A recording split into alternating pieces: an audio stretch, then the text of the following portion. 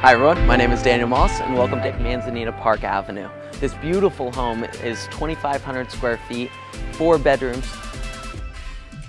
three bathrooms, on over half an acre with a flat backyard and pool. This home is located in Las Flores Canyon in this quaint little neighborhood that was built in the 60s. This home has had only one owner and has kept all its original charm.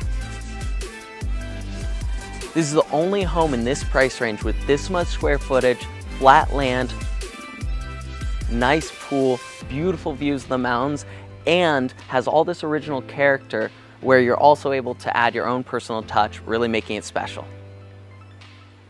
Thank you for joining me on the tour of this beautiful home. If you have any questions or would like a private tour, please feel free to reach out to me anytime.